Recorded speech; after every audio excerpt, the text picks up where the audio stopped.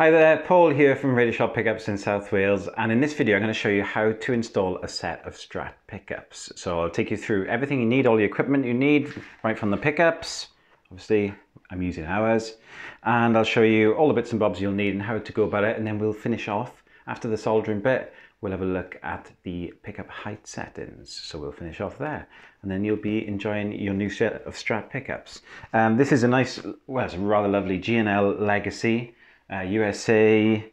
Um, it's got our Monterey pickups in there at the moment, but I'm going to take them out and put in something which we're working on, which is a Mark 1 set of our ID63 GT Strat pickup set. So we're pretty excited about this. So these are coming out and these are going in. So let's have a little look at what we need. Now what you're going to need to do this job is you're going to need a soldering iron of course and you'll need a soldering iron stand. I use these Antex soldering irons which are 20 watts and you'll need a sponge. I use 60-40 lead tin solder and you'll need a steel rule for your measurements and two Phillips head screwdrivers for doing the adjustments later on.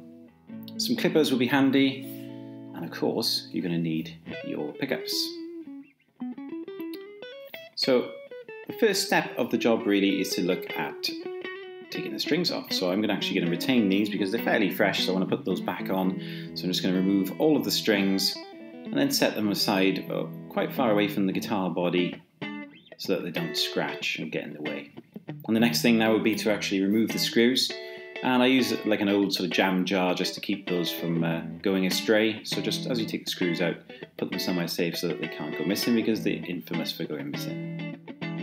Now we'll take out the pick guard, just have a little look at it and then turn it round and I'm going to put a cloth underneath it just to protect the body whilst I'm working on things. Just want to reposition that a little bit so that it's completely not touching the body. And the next step is to trace the wires from the pickups and see where they actually go. I've actually got a blender knob um, mod in the guitar now. I'm actually going to change things around a little bit. But if you wanted to retain exactly where things went before, then it's a really good idea to trace the wires and then actually do a diagram for yourself. A little sort of, even if it's a crude diagram, just so you can re retain that sort of bit of knowledge of where they go and label it.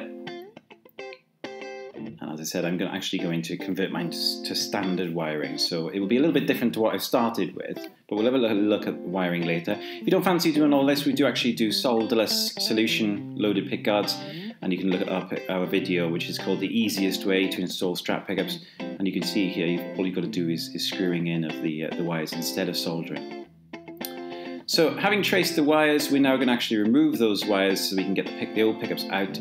You can clip them if you want, but it does leave you with the problem of actually having to desolder those clipped wires later. So what I'm actually going to do here is just heat up the soldering tip and look at those black wires which are going to the top of the volume pot from the pickups. Just a little bit of um, solder on the soldering tip and that will make it hot enough to melt that solder joint and just take those wires off. If you try to do it without tinning and put a little bit of solder on the tip first, you'll find it difficult. So always make sure you, you put a little bit of solder on the tip. And again, now those, um, those hot wires from the pickup, the white wires, I'm going to trace those to the selector switch and just heat up the joint there, just very briefly, and they'll come out nicely.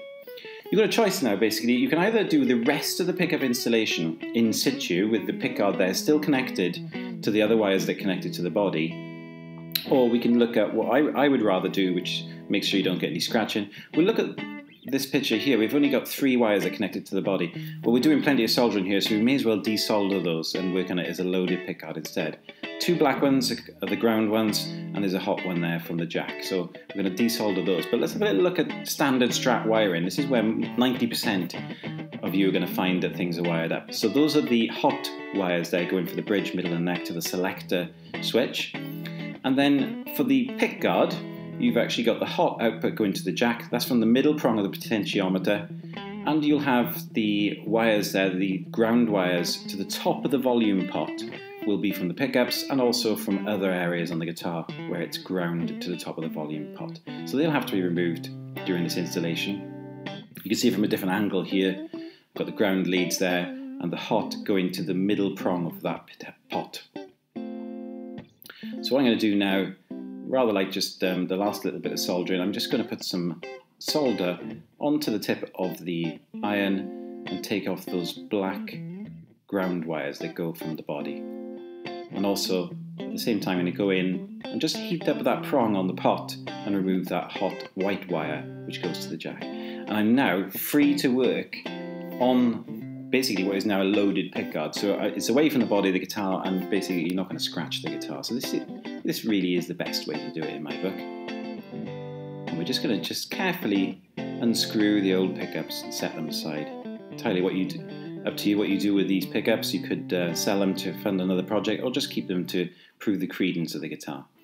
Now, I'm looking at the new pickups that are going in here. I'm actually going to change the covers. If you're changing your covers, and just be very, very careful as you remove these. Just a, a little bit of sort of prizing them apart and keeping your fingers away from the very middle part of the pickup where the wires are. Because if you break one of those, then obviously it's curtains for the pickup. Um, so just be very careful removing the old pickups covers. And new ones don't always want to go on. You can give them a tiny little stretch on the sides and they should go on nicely. So I'm just putting the old white covers back on and I'm going to put the other covers onto the pickups that are coming out just to keep those uh, safe during um, storage. Next step now really is to identify which of the pickups go where. On our pickups we have N, M and B labelled on them for neck, middle and bridge. Uh, but you can also tell if your pickups aren't labelled, which they probably will be, you can tell from the length of the wires that that long wire there is for the neck and that next longest is for the middle and the shortest one is for the bridge pickup. Now carefully now we're going to install the new pickups onto the guard. You'll need to hold carefully the pickup underneath so you can put some downward pressure onto the screws. Okay, so you just very carefully in the sort of palm of your hand or with your fingers, hold the bottom of the bobbin, the Strat bobbin, and just put some downward pressure on the screws, make, making sure they seat properly. And this is quite difficult to do when, when the pickguard is attached, attached to the body because you're likely to scratch the body. So this is why I remove the pickguard. I would just get all the pickups in. Again, you can see me holding the bottom of the pickup with the palm of my hand just to get that downward pressure on it. The next step now really is to plan out where all these wires are going to go. And you can see me there working on one of the uh, ground wires from the pickup. And it's up to you now. You can either keep all of the excess wire or you can trim them. If you trim them, then it means that you've got less wires in the way when you're going to tuck this all back in the body. Uh, but I, I, always like to leave just a couple of centimetres of excess, just in case I want to put the pickups in, in a different Strat later on or something like that and they don't quite reach. So just keep a little bit of excess, but trim those is what I'm deciding to do here. And they're going to go to the top of the volume pot, all of those black ground wires. So I'm just making sure they reach with a little bit of excess as well. And now, of course, the hot wires, the white wires, are usually going to be white on any pickups. Again, up to you. Do you want to trim the excess or leave it there? It's no hardship to leave the excess there, it just means you've got to do a little bit of tucking in later. So we're just going to decide where they go to on the selector switch. And now the black wires, starting with the black wires from the pickups, the ground wires, which are going to the volume pot, I'm just going to tin all of those. If you're not 100% confident with soldering, check out our series of videos, How to Solder for Guitarists, because we show you everything. Tinning, um, soldering to the top of pots, soldering to potentiometers, and so on. And here I'm deciding to put a new pool there to put the three wires to. So I've just scored it with something a little bit sharper, and I've tinned at the top of the pot, put a little pool of solder there, and I'm just going to put one of the ground wires in just heat up the joint as I go in put each one in. This isn't how I'm going to leave it really, this is just me getting them located really. So they're now all in place, and that actually would be good enough, but I like a better joint than that. So what I'm going to do is just hold them with my left hand and just heat up the pool, add a little bit more solder, just carefully to the top, not fully reheating yet, but now hold on to them and reheat the pool at the same time, and you'll get a nice shiny joint like that.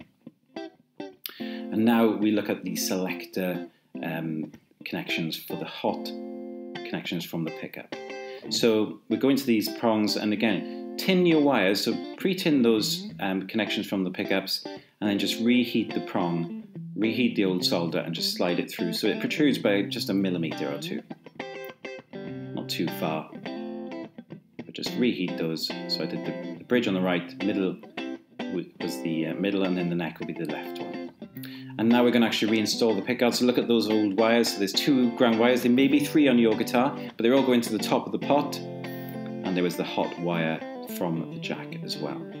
So again, like before, just making sure I tin those wires and I'm going to an existing pool here. So I'll just heat up the pool and put those wires in and then add a bit more solder. Again, you may have three ground wires going to the guitar body, but they're all going to the top of the volume. Just a little bit more solder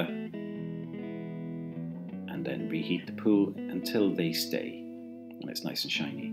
And now I'm going to do the hot connection from the jack, which is this white wire um, actually got my hand in the way here, so I'm going to use a little bit of footage from the How to Solder series, just with some wires. All the other wires are, are, are de-installed, so you can see clearly. And I'm just going to heat, put some actual solder onto the prong, tin that white wire, and push it through as you heat the prong, and it will make a nice shiny solder joint. And I'm using the, the hookup wire, which is the cloth hookup wire, which here, which is easy to tuck and push up to the joint. It's really lovely stuff to work with for wiring. So that's all the connections done. And what I'm going to do now is actually start putting them in, put, putting the pickguard back into the body. And I'm quite lucky because this G&L has the classic swimming pool route, which means there's lots of room for the wires.